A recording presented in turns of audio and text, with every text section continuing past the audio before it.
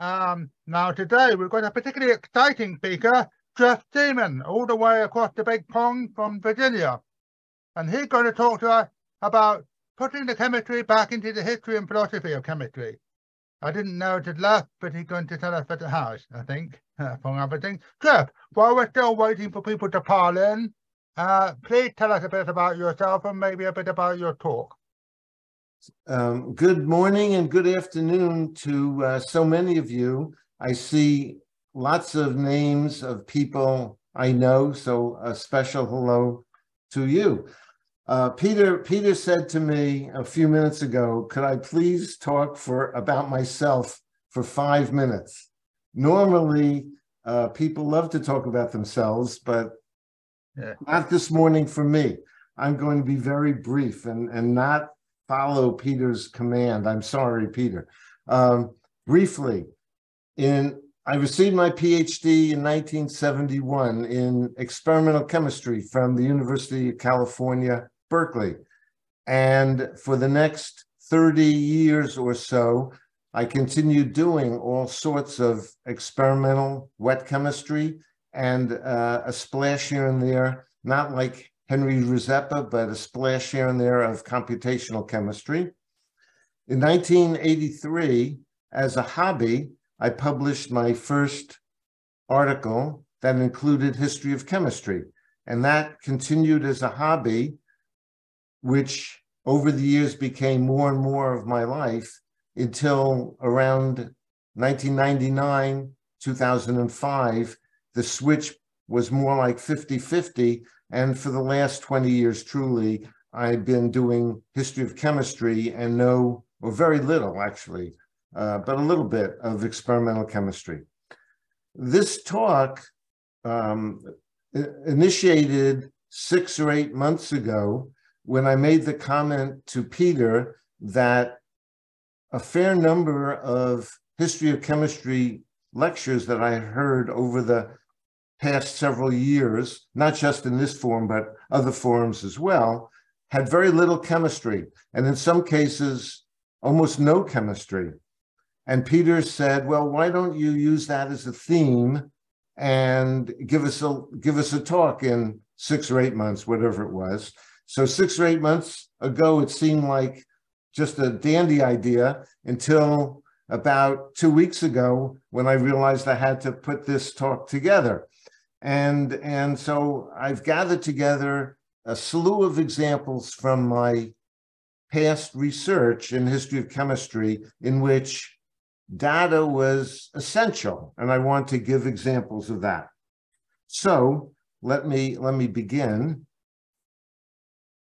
What amused me, this is from 2003, Bulletin for the History of Chemistry. That's, of course, the journal published by the Division of History of Chemistry, the ACS. And you see in yellow there part of the instructions for authors, which are no longer part of the instructions, but it said chemical formula formulas should be kept to a minimum. So as my first example of putting chemistry back into history of chemistry, there it is from, from my own division of history of chemistry.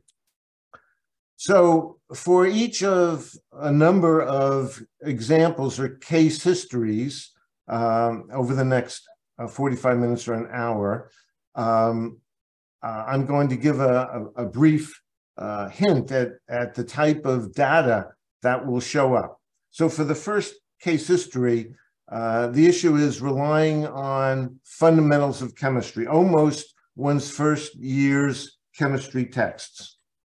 So a recent, well, not so recent, 2012, Hasok Chang, one of the most premier historians and philosophers of chemistry, Cambridge, published a paper, in fact, he's published several papers on, on acidity and basicity in chemistry. And I pulled some quotes, some excerpts from his December 2012 uh, paper in Philosophy of, of Science. So what, is, what are some of the things he says? He says the succession of acidity concepts that we witness in the history of chemistry does not constitute a straightforward progression of increasing general, generality, each new concept completely encompassing the previous one. it is difficult to avoid the conclusion that the only good reason for the persistence of acidity concepts in chemistry through the ages, that includes up to 2012, is our desire to preserve a reflection of lasting everyday concepts in our science. And the third, there's been a plethora of conflicting theoretical definitions of acidity, and the basic identity of the acidity constant has been maintained due to the daily operational meaning rather than any unifying consensus. Eric Scerri, uh, a philosopher of chemistry at UCLA and the founding and continuing editor-in-chief of Foundations of Chemistry, a wonderful journal in the philosophy of chemistry. I highly recommend it. Last year published a criticism of some of Hasok Chang's publications on acidity, uh, including the, the one that I just mentioned. And, and he entitled his paper Hasok Chang on the Nature of Acids. And Eric's paper was almost exclusively written as if it were 1935. There was in both Chang's and Scerri's papers, it's as if no chemistry happened since 1935. Data missing. That is almost 100 years of data missing. Dean Tantillo and I, uh, Dean is at UC, University of California, Davis. He and I have been collaborating on a variety of, of projects over the last four or five years. And recently, just very recently, we published a response to Chang and Scerri's publications, in which we point out, indeed, that there is a unified theory of acids and bases, contrary to what the philosophers have been saying. And, and I won't go into detail today. You can read that paper, or in fact, read a number of textbooks, basic textbooks in chemistry. But the unifying theory in terms of MO, the unifying concept in terms of MO theory, and a similar analysis comes from valence bond theory, is that it's a homo-LUMO interaction between an unfilled LUMO, lowest unoccupied molecular orbital of the acid and the HOMO, the highest occupied molecular orbital of the base. Those, those two molecular orbitals interact and they form two new molecular orbitals, one which is stabilized, meaning those two electrons go down in energy, and an unfilled orbital up on the top, um, which is a, an antibonding orbital. So all of acid-base chemistry can be explained by that diagram. And in our paper, uh, Dean is responsible for a very complex set of graphics, but we tried to explain acid-base theory on this MO um, uni unifying concept. So this is part of that paper. And two of our conclusions. We strongly conclude that there is no reason to undervalue or fail to consider modern chemistry and in, instead adopt primitive ideas about any aspect of chemistry, including acid-base theory, which is essentially what those philosophers did. And then we added, we fully agree with Chang that science needs philosophy. He published a paper in PNAS in 2019 saying science needs philosophy. But Dean and I continued, we also believe that philosophy of science needs science, needs the data of science, and cannot operate effectively in the absence of the topic about which it expounds. Okay, second case. One of the one of the advantages of doing history of science is you can use the science. So in this particular case, the, the case focuses on using many details in key publications with a focus on why certain chemists missed a major discovery.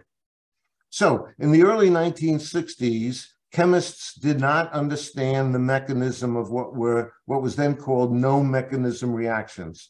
Not that they believed there was no mechanism, they just simply did not know what those mechanisms were. Today, those reactions several named here, Claisen-Koch rearrangements, but it's basically all cyclic concerted reactions. We chemists today call those pericyclic reactions. Examples from the 1960s, which were inexplicable at that point, the question would be, why do two olefins photochemically dimerize to cyclobutane and not thermally do that? A similar related uh, question would be, why, the, why is the Diels-Alder typically thermal to the left, that's the second line, and not photochemical? So why do two plus two gives cyclobutenes thermally? Why do two plus fours or four plus twos give um, Diels-Alder reactions? Another example from the pre-1965 literature comes from the, the chemistry of vitamin D. Here's pre-vitamin D in the middle bottom. Why does it thermally give cyclized products where the joint, the, the uh, ring forming bond between C9 and C10, why is why are those cis, either the hydrogen methyl down or up, whereas in photochemistry, they are anti. So syn thermal, photochemical anti. These are examples of the no mechanism problem. So Woodward and Hoffmann published five communications in, in 1965, the first one January 1965, and they explained it all based on molecular orbital theory and what they called conservation of orbital symmetry. Far more complicated for me to discuss the details of that, but let it be said that they solved that entire void in 1965. And in 1981, uh, Roald Hoffmann shared the Nobel Prize with uh, Kenichi Fukui uh, Woodward died in 1979. LC would have received a second Nobel Prize for Hoffmann's work with Woodward on the Woodward-Hoffmann rules and Fukui's work on frontier molecular orbitals, which I'll mention in a few minutes. So in, in their first 1965 paper, Woodward and Hoffmann acknowledged, footnote five, Professor Oosterhoff, University of Leiden, clearly deserves credit for having first put forward the suggestion that orbital symmetries might play a role in determining all of these reactions. The suggestion was described so succinctly that it has received no currency and it has not been generalized to include other cases. So Woodward Hoffmann is saying that they were not the first to propose orbital symmetry. Oosterhoff proposed it and was published four years earlier than Woodward Hoffmann's papers. So what, what does that mean from a historical perspective? We have to go to the chemistry, have to look at the data there. In that Havinga Schlatmann 1961 paper, here are photos of Oosterhoff, Havinga, and Schlatmann. In the middle of Havinga's paper, these were all, Havinga and Oosterhoff were colleagues at the University of Leiden, and Schlatmann was Havinga's postdoc. No, pardon me, graduate student.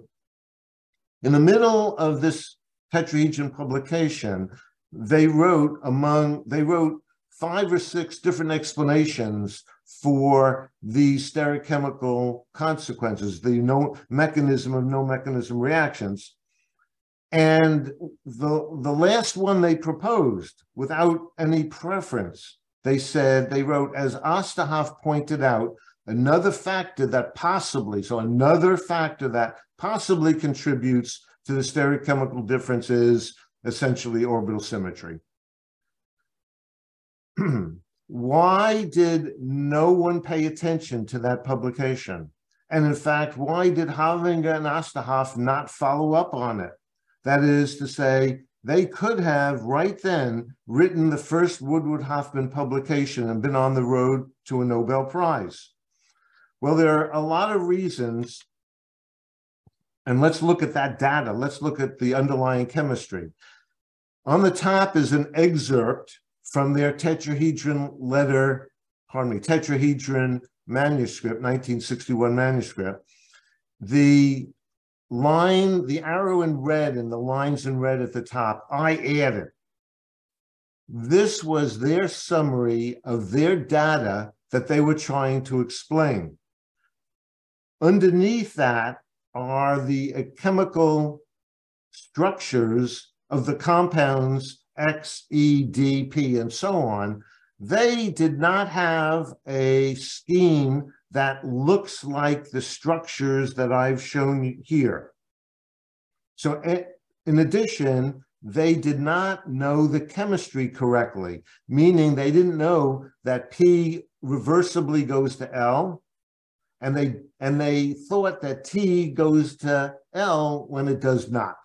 So Havinga's chemistry wasn't right, but in addition, their communication was very poor because if you were just looking at those equations in, on the top, you'd have to remember all the structures that I've drawn below. And it's it's even when you are a steroid chemist, it's hard to remember all that. So the communication of that data was horrible. So one reason they didn't believe Oosterhoff's suggestion, Oosterhoff himself didn't believe it. They got the chemistry wrong and they communicated poorly. Now, there is another person who was early involved in orbital symmetry. And I'm going to show what mattered to him were mathematical derivations. And in fact, I think of him more as a mathematician than a chemist. And that was Fukui. Fukui actually published in the middle of a very dense publication, 1964, in a book written for chemical physicists, not organic chemists, a book honoring Mulliken's uh, 65th birthday, 1964. In the middle of that article, uh, Fukui included table four, which is on the left side of this screen. And what Fukui was explaining was why the four plus two reaction occurs thermally and not photochemically, but he did it in an extraordinarily brief and almost uninterpretable fashion for organic chemists and of probably little interest to chemical physicists. That is, the organic chemists were interested in that reaction, but the chemical physicists weren't. And these pluses and minuses refer to the phases of the HOMO and LUMO orbitals, the frontier orbitals. And the picture to the right with the orbitals drawn in represent what Fukui is showing on the left. And this again is too complicated for this lecture, but the underlying data that I that I say is necessary to understand history of chemistry requires an understanding of table four, which has to be in a way re, um, rewritten in the way I have. And as a side comment, you can see a homo-lumo interaction. Those are the dashed lines there between the orbitals of the MOs. It's almost interpretable as an acid-base reaction as well. Where is the mathematics that, that, that drove Fukui? Well, in addition to table four, he had a series of mathematical derivations, and I show you one of them in, at the bottom here. And I, I point out in the parentheses, there are two terms, uh, the sum of the occupied multiplied by the unoccupied orbitals and the unoccupied with the occupied. So this is a homo-lumo occupied, unoccupied levels, okay? I I had I didn't understand that equation. And in fact, most organic chemists wouldn't. But but I wanted to understand how Fukui got to this stage in 1964. And so I started reading the literature, his pay, his publications. And wouldn't it how interesting it was that I discovered publications in 1954 and 56 that had the same type of terms. Do you see the sum occupied and unoccupied right there? It's just like what he published in 64. And below in 57, he had the same kinds of terms. And in 59, he had it again. And 61, he had it again. And then there it is in 1964. So Fukui himself could have solved the Woodward-Hoffmann no mechanism problem way back in 1954 using perturbation theory. This is second order perturbation theory. now, um, the interpretation in the right hand box, my drawings, you can see a, how would I say, a um, graphically the changing of the molecular orbital features black and white from psi 1 to psi 4. Psi 1 is the lowest molecular orbital. It should be the most stable. And plus dark to dark and white to white represents bonding. And dark to white or white to dark represents antibonding. So you can see psi 1 has three bonding characteristics. Psi 2 has two, Psi 3 has one, and Psi 4 has zero. More bonding, more stable. So that's going from the bottom to the top. This comes from Huckel molecular orbital theory. And Huckel published that in 1931. So anybody who read the 1931 Huckel paper could have drawn the box on the right which meant he or she could have joined the box on the left before Fukui showed it in 1964. So anybody that knew 1931 could have done what was done in 1964. And not only 1931, but that same thing appeared in 35, 38, 39, 45, 49. This is from the literature, 1950s, 1950s, 1916. It keeps on going over and over again the same drawings show up all the way even to 1964. The bottom one, number 33, is from my own professor, William G. Dauben. He knew that chemistry in, in 1964. None of them solved the Woodward-Hoffmann uh, puzzle. Ah, here's some more, 1964. In fact, I should point out, item number 34 comes from Roberts and Caserio's textbook that I used in 1964, um, and so on. Okay. Um, thanks, thanks to uh, Roald Hoffmann and Zoom tutorials with him, you can see by coincidence, I took a photo from one of the tutorials. You can see he's giving me a tutorial on homo-lumo interactions. Okay, my point is, sometimes you run across data that's essential but you don't know what it means.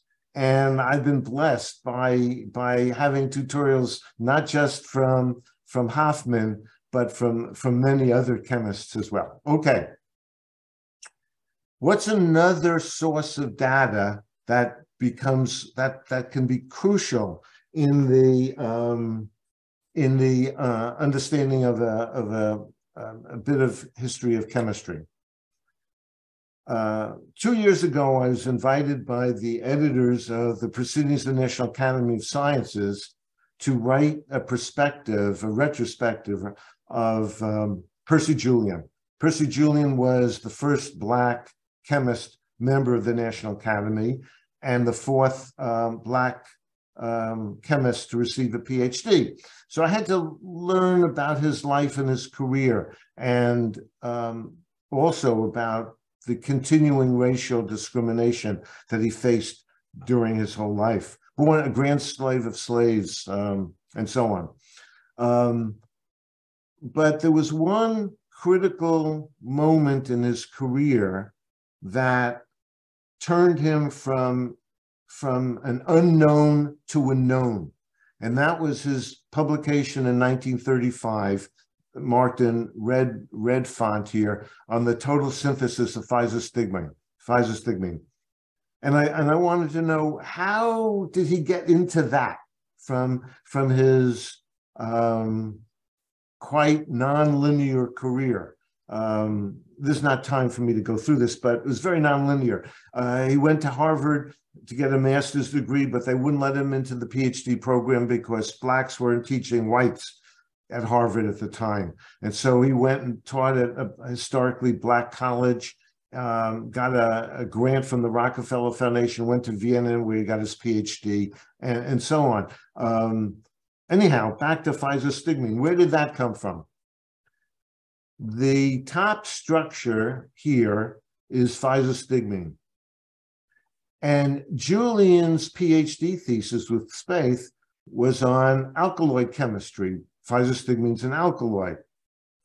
But it was on a, an alkaloid that looked very different from that of physostigmine. Um, um, in the middle structure, you can see it's a, um, a six a, benzene, an aromatic ring benzene attached to a piperine ring, whereas on, on physostigmine, it's a benzene with a five-membered ring. There's considerably different structures and chemistry.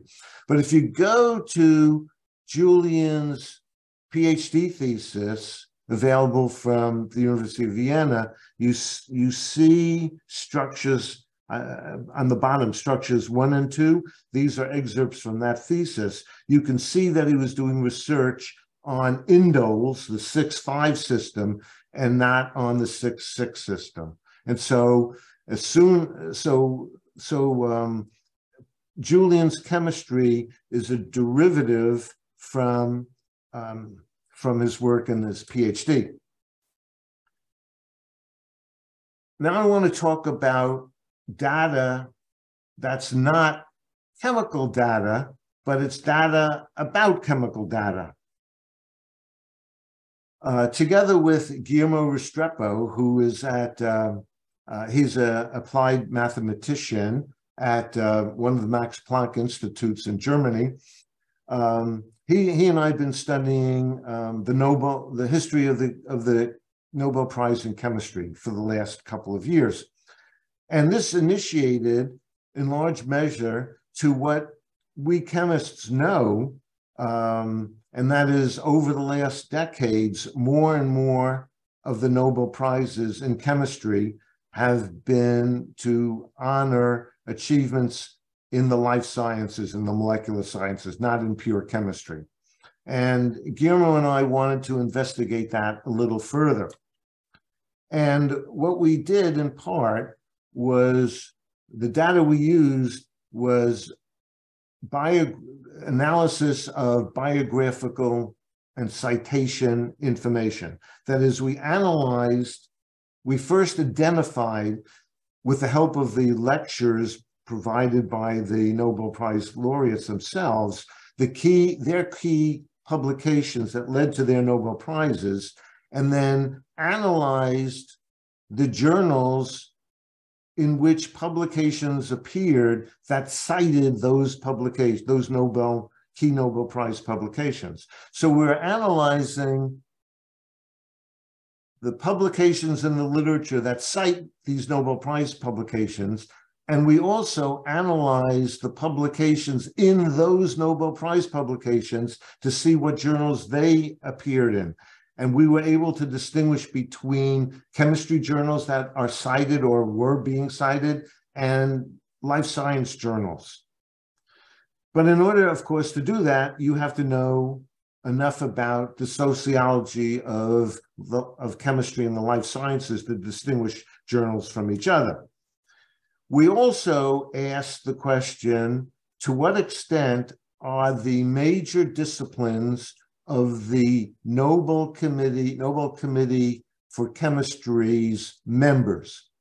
So we wanted to see if the membership of the Nobel Committee for Chemistry, the group that selects the Nobel Prizes, whether that membership is, is reflective of the increasing number of Nobel Prizes in the life sciences which meant that we needed to first identify who the members were and then identify what their fields of expertise is.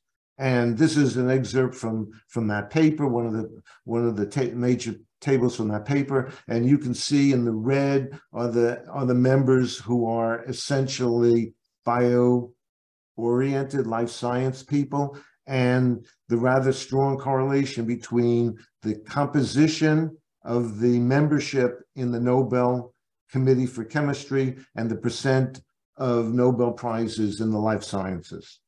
So analyze, so this is essentially not analyzing chemistry data, but analyzing the data that relates to the chemistry data. So it's meta, meta, meta, meta science. I wanted to show a story about how one seemingly tangential publication resolves or helps resolve a, a, a, mystery in history of chemistry. So one, one literature, primary literature publication changes, changes the story completely. And this is on the total synthesis of quinine. In 1944-45, Woodward on the left and Doering on the right uh, published the first total synthesis of quinine. Quinine was important at that time, 1940s, because it's the major natural anti-malarial and um, more American troops died of malaria in the South Pacific than were killed by enemy fire. And so they, they Woodward and Doering published their paper 44, and it was picked up by Life magazine and and many other newspapers and radio, and it was a big it was a big deal. And as of the year 2000, well, even now, that synthesis wa- was Woodward's first total synthesis, and it was a type of a chemical achievement that was classical, that is classical in terms of total synthesis of natural products. So statuses of, of 2000, Merck Index, I mean, it's a major achievement in organic chemistry. And then in 2000, Gilbert Stork, pictured here, who um, died just a few years ago, uh, not, not a Nobel laureate, but certainly could have and should have been um, a major synthetic organic chemist, wrote to Chemical Engineering News, that's the news magazine of the American Chemical Society, that Woodward and Doering synthesis was a myth. And that was repeated in C&EN News a few more times. And Stork claimed that it was a quasi-universal impression of a synthesis in a JACS paper, JCS paper, that he published in 2001 on his total synthesis of quinine. The then editor-in-chief of Chemical Engineering News, Madeline Jacobs, wrote an editorial entitled Setting the Record Straight, stating that, that Woodward and Doering synthesis was indeed a myth. Now, what, what was that all about? So here's an excerpt from Woodward Doering's um, full paper.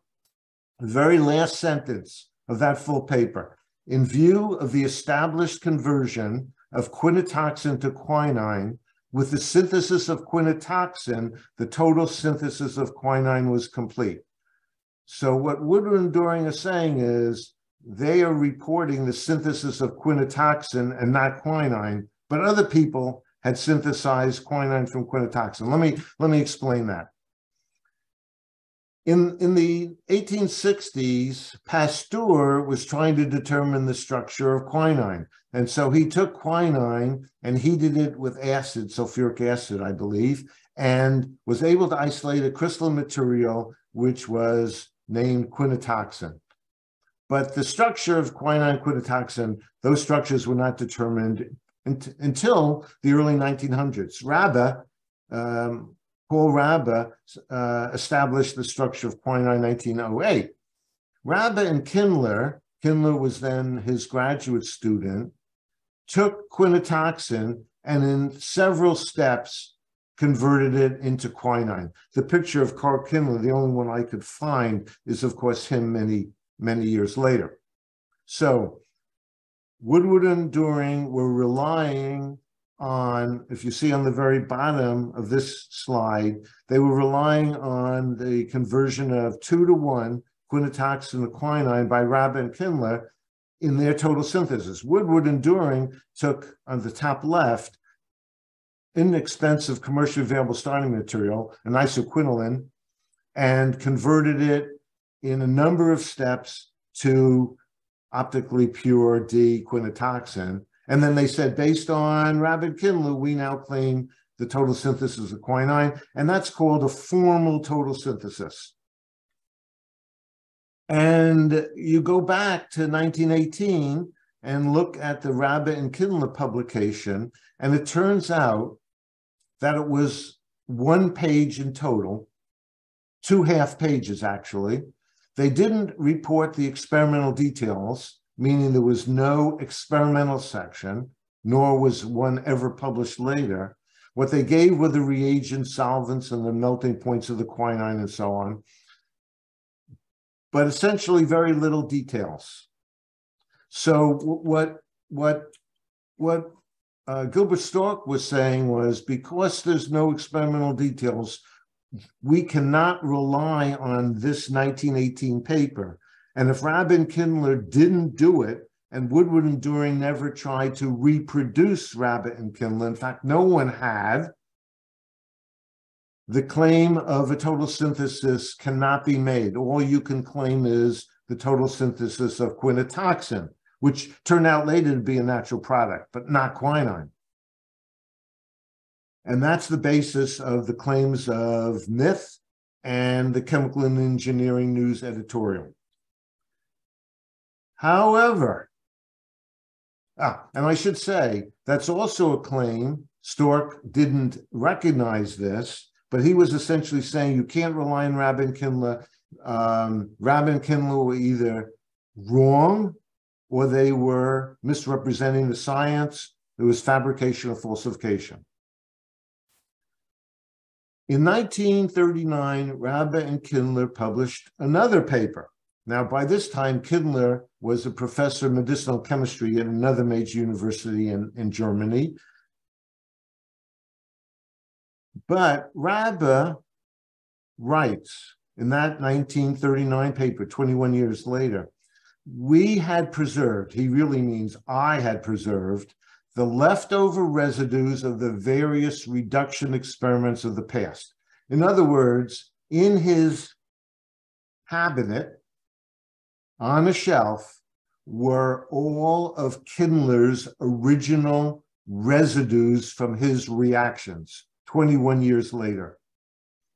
And what, what Rabe then reports is the above leftover mixture of bases, when treated in this way and crystallized in that way, from this in the usual way, the still present quinine was removed 3.3 grams. So 21 years later, Rabe in his own hands takes material from 1918 and extracts out and crystallizes quinine from it. Now, why would Rabe do that in 1939? Let me tell you why. By 1939, it was known that quinine existed or could exist with three diastereomers which are shown at the very top. Diastereomers are isomers which differ only by the stereochemistry of the substituents in the molecule. So you can see that quinine and epiquinine differ only by the position of the hydrogen, and the hydroxyl. And quinidine and epiquinidine have the same distinction, the hydroxyl and the hydrogen, but the um, quinoline ring is up instead of down relative to the bicyclo 222 system. Okay, by 1939, chemists understood there were these four compounds, these were four diastereomers. They understood what their melting points were, in one case only in oil, and they were well characterized. And what what what Rabe wanted to know is in the last step, did did um, Kindler actually obtain all four? So Rabe wasn't interested really in recovering quinine. He was interested in seeing and demonstrating that there was epiquinine, quinidine, and, and epiquinidine in that reaction mixture from 21 years later.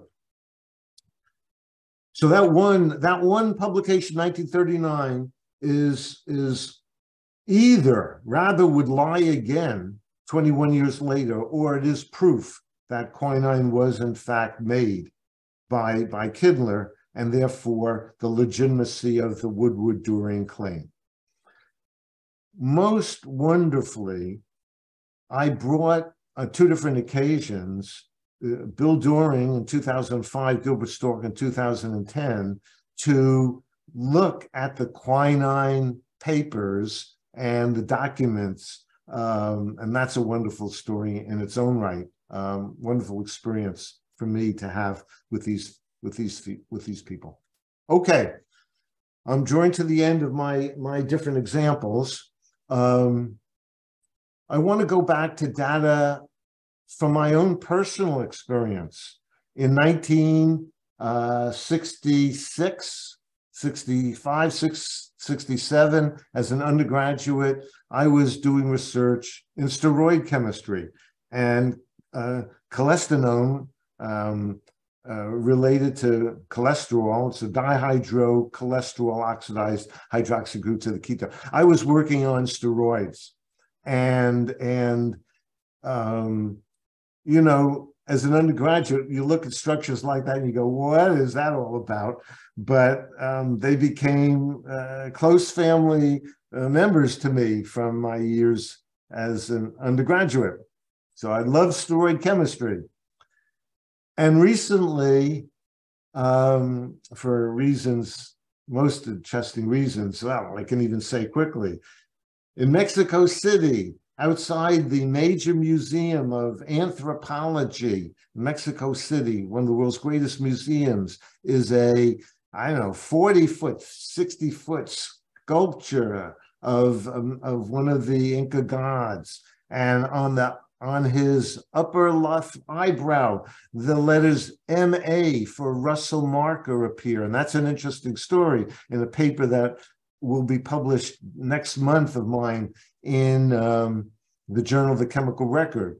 I, I, I got interested in Russell Marker. Um, and on the bottom, uh, the Marker's upper right, Ajay Bose was my professor as an undergraduate at Stevens Tech. Um, who had interest in steroid chemistry. Okay. Um, so I published a paper on Russell Marker. Marker essentially initiated the steroid pharmaceutical industry by finding plant sources of steroids in Mexico. He's not very well known today. Names like Carl Djerassi and in fact Percy Julian are key key figures in that. But Russell Marker was actually the beginning person of that. And from uh, one, one set of his papers, I've extracted many, many of his key reactions. Diosgenin is the plant, one of the plant steroids um, that, that Marker was able to uh, obtain from, from these Mexican yams and he converted it to cholesterol as well as progesterone and, and many other uh, commercially important uh, um, uh, steroids and steroid hormones too. Not cholesterol, of course, that was just uh, an academic exercise. Um, so I guess my point is I was able to understand Marker's chemistry because of my own experimental work. So one advantage of being a chemist, doing history of chemistry is sometimes what goes around comes around. You come back to your own childhood, your own childhood. Okay, the last example, the last case that I wish to make, and I'm, I'm really pleased that I've done this in 45 minutes. Um, maybe you are too. Anyhow, um, it struck me interesting um, for this last case. When studying a controversial subject, collaborate. If possible, collaborate with the other side, um, not the dark side, the equal side, the other side, because the combined data is richer and more informative than either one set alone. And, and I'm really proud of the next slide. Um, and Peter, there you are. Uh, this is Peter uh, receiving what's now called the HIST Award, was then the Edelstein Award for Lifetime Achievement in History of Chemistry. I'm on the far left. I was chair of HIST at that time, and that's Ruth Badish, um, Sidney Edelstein's daughter. Anyhow, uh, Peter and I published a paper last year on the occasion of the centennial of the Division of History of Chemistry, which Gary Patterson, his historian, is putting together a series of publications that that talk about his centennial. In, in and I'm sure the, these will be published um, on the HIST website is and perhaps some in, in the bulletin for the history of chemistry. Anyhow, Peter and I um, discussed the importance of plurality and mutual respect in the practice of the history of chemistry. What we're referring to here is that chemists who do history of chemistry, some people call those chemist historians, or, and historians such as, of course, Alan Rocke, one of my heroes, and Peter Morris, do history of chemistry, and they're historians. We all share the same stories, but we also share the same chemistry the same molecules, the same reactions, the same properties. And there's a real need to be respectful and appreciative of the work of each other. And that's not always the case. And this paper of Peter's and mine talks about this relationship and how it's deep and, and, and has a much greater opportunity in the future for collaborative work. So, um, Hasok Chang, Hasok Chang said that chemistry needs history and philosophy of chemistry. And today I'm saying maybe preaching to the choir because most of you are chemists, but history and philosophy of chemistry need chemistry and need us, need chemists as well. So thank you, Peter, for the opportunity to uh, uh, give this talk, and um, I'm happy to answer any questions. Okay, thank you very much. Uh, we've got a few comments here, mainly from Henry Rzepa, uh, as you might suspect. Uh, I'll read out um, Henry's comments, they're mainly from Henry, I think they're all from Henry, except from one by me. His first comment is, Hydra, re-acid base theory. Frank Weinhold, or Weinhold, depending how you pronounce it, has promoted this concept very elegantly over the last 40 years or so, NBO theory. Oh yes, yes. Henry's the Henry's the expert. And one of my I, I had a set of goals as the people I wanted to collaborate with. You know, Peter, you were one of them. So that's sort of my bucket list with you but I've always wanted to collaborate with Henry too. Um, I've tried a few times. We almost did once, and maybe this time in the future. So thank you, Henry. Okay, another comment from Henry coming up. Um, Jeff, Fouquet, Fouquet equation is now credited to Klopman and Salem, and indeed now widely taught, or used to be. Probably a number of people obtained the same equation but eventually stuck to one pair. So, so I think Henry's saying um, or commenting about the accuracy. Oh, maybe I should stop sharing. Let me let me do this, and you, I, I, you, you can almost can you see me? I don't know. Um, Henry's. I'm going to generalize from Henry's comment. Um, Robert Merton pointed out and it's now called, I think, the Stigler hypothesis, uh, the Stigler theory, that the people for whom something is named are never the people who deserve being credited for um, that finding. I don't think that's always true, but um, one again needs to look at the data. When you know, Woodward Hoffmann rules really maybe should be the Oosterhoff Fukui Woodward Hoffmann rules. And, and Peter's quite right with regard to the Homo Lumo um, uh, and, and, and um, naming uh, as well. The, the Salem, uh, Salem deserves more credit. Koopman, yeah, deserves more credit. I agree with, I agree with Henry. I think you said Peter when I think you meant Henry, but we'll let that pass. Uh, Oh, were we talking about Henry Rzepa? Was it Henry Rzepa? Henry made the comment, yeah. Okay, So they're all from Henry at the moment. I've got my own question at the end, but this is all from Henry. Well, Henry Another only gets- from Henry. Henry only gets, One of the problems in understanding historical context is terminology. Thus, the term radical, as used, for example, in 1880, has evolved very considerably over the last decade. Translations also matter. For example, from German as written by Meerwein or Meerwein regarding carbo, carbo, no, I can't pronounce it, carbocationate. Uh, yeah, sorry, it's a bit, got a bit tongue tied. So, so, so I, I agree. Um, I, I recently published a paper in Foundations of Chemistry where I try to define the meaning of revolutions in science. Peter has edited a book on revolutions in chemistry and written two or three of the chapters in that, in which there's no definition of revolutions in chemistry. And I've had some debates with Roald Hoffmann about the value of definitions. Roel doesn't like definitions because he believes they are limiting. But if we don't have a, an agreement on the meaning of the words we use with other people, how can we communicate effectively? So um, it's, it's an interesting situation when people use words without defining them. Okay, now to hit a quick, Jeff, here's my question. Okay. It's not an original question, but I asked it. Why did Woodward and Doering not carry out the final step so they had quinine in their hand? I, I, I, I know the answer to that.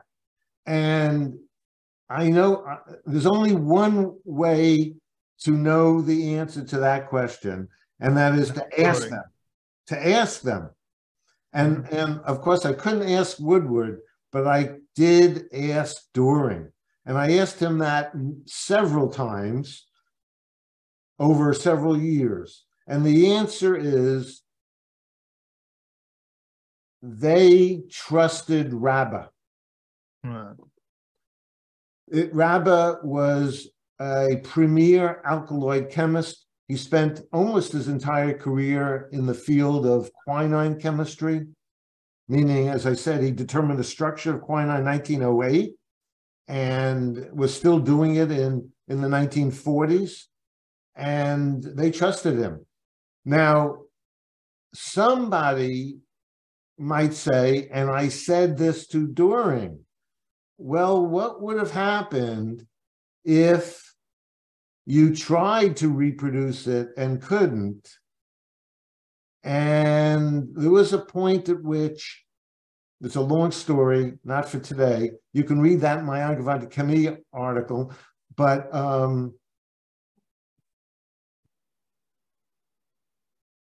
Gilbert Stork, the same Gilbert Stork, yeah, we've been talking about, wrote to Woodward 1944 asking that question. Woodward never responded. If Woodward and Doring, if Doring was the experimentalist, tried and couldn't succeed, then Woodward and Doring couldn't have made that claim. So it's the question of doing one experiment too many. I don't I, don't know to what extent Woodward, who was leading that project, worried about that. But I suspect he did. Okay. But there's also the psychological aspect there, isn't there? I mean, there's not just the sort of what you might call chemical legalistic aspect Oh, of it. let- oh, Peter, let me regarded mention- as legitimate. It's regarded as legitimate to stop at the point where somebody else has completed the process. But I'm people, also talking about the psychological aspect. Wouldn't they Well, have felt psychologically more happy if it had quinine than that? So there's a psychological aspect to this. let, uh, let me let me add to that, and I'm sorry I didn't. My article in Angewandte Chemie in 2007, which discussed the historical part, encouraged a number of experimental chemists to consider repeating Rabe and Kindler's work. And Bob Williams, who was one of Woodward's last PhD graduate students at Colorado State, and his graduate student, Aaron, Aaron Smith, did repeat Rabe and Kindler's work, and they were able to do so.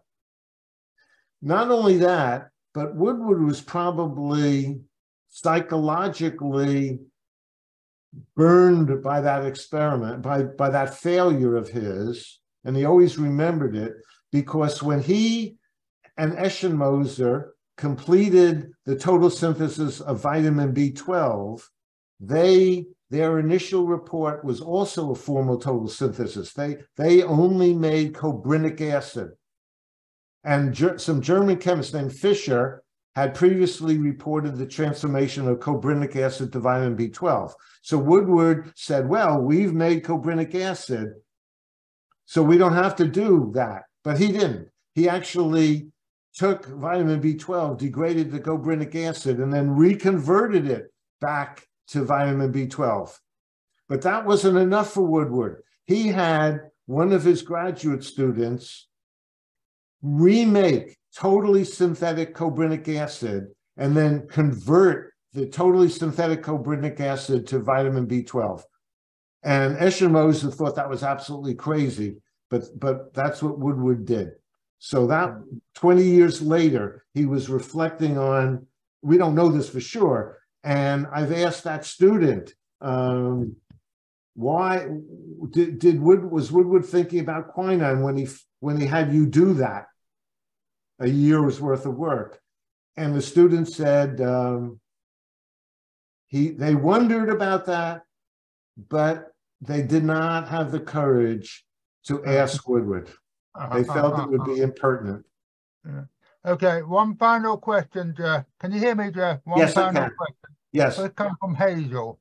Um, how did you go about finding the paper that you were talking about? Did you have any challenges when trying to identify the paper? I don't know, but um, you know, doing doing research in the history of chemistry is no different than doing research in chemistry. You need to know the literature.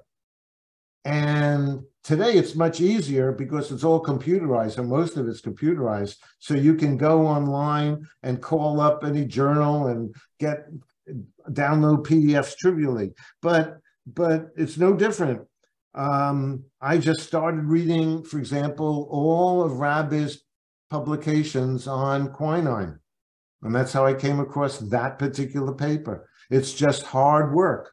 And if you're not a chemist, it's rather daunting.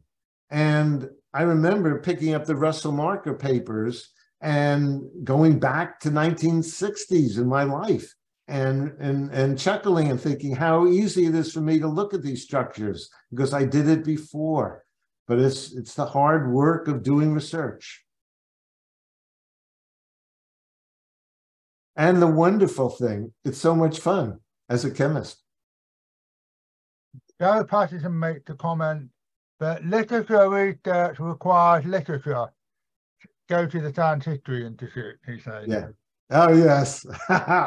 And and you know, I I need to thank not only people like Roald. I mean, I, I Roald has I've shared I don't know more than a thousand emails with Roald and four visits of a week each where I deposed him for days on end. And more recently, over 70 two hour Zoom conferences going page by page through his laboratory notebooks.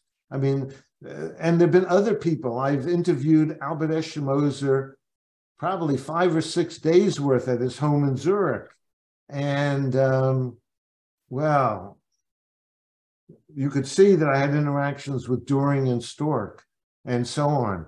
So, in addition to those people, right, Harvard Archives and the um, Science History Institute archives have been very useful and important to me. So, know, those folks, um, Patrick Shea at, at SHI, for example, really thankful to people like that. Okay, thanks, Jeff. I think we'll stop at that point. That's a very good point to stop. Uh, firstly, allow me before you disappear and before I close it down to talk about next month. Because well, actually, we've got next week first because we're having a talk next week on Islamic Arabic alchemy. And apart from Arabic alchemy being important in itself, it was also very important in terms of the transmission of alchemy. I had a just disappear, but never mind. Uh, uh, very important in terms of um, transmission of alchemy from Byzantium in the 5th century or 6th century through the Islamic period and then into the Christian Middle Ages. So they had an important role in keeping alchemy going. So I do urge you to come to the talk, same time, same place, next week to hear about Arabic alchemy, and I'm sure it will be a fascinating talk. Now, next month, just very quickly, I'll be talking about Henry Enfield Roscoe because right now I'm racing to get the manuscript of my biography with Roscoe with Peter Reed. I'm writing it with Peter Reed, who now lives in California.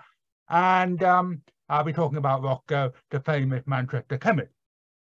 Now, after that, a week later, uh, we'll be having a talk about Greco-Roman alchemy, which is basically really Egyptian alchemy, but in the Greco-Roman culture. And that will be the second last of our talk in the history of chemistry. I'm hoping we'll have some sort of debate about what were the origins of chemistry for the very final meeting, but that hasn't been arranged yet. So please don't go away. Please come back next week. Please come back next month and let's keep this going. Meanwhile, thank you very much, everybody, for coming. Thank you very much, Jeff, for talking. I hope you're still there. I think you are. And have a good afternoon wherever you are. Bye for now.